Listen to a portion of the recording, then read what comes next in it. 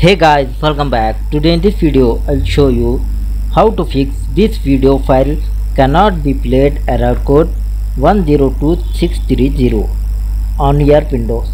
So for this guys, first method you check your internet connection and the second method open your browser and now press the control shift and delete control shift and delete select the basic option select the time range check the contents and click on clear data.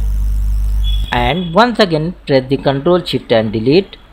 Now go to advanced option select the time range check the contents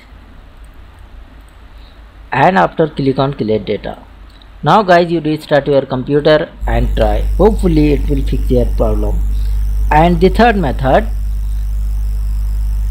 go to top right side and click on three dots and select the settings. In the right side panel select here select here reset and clean up. Next click on restore settings to, to their original defaults. Now click on reset settings. After guys once again restart your computer and try. Hopefully this time it will fix your problem. And the fourth method once again click on three dots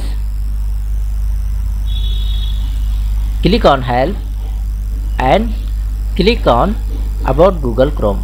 Just click on and it will update automatically your browser.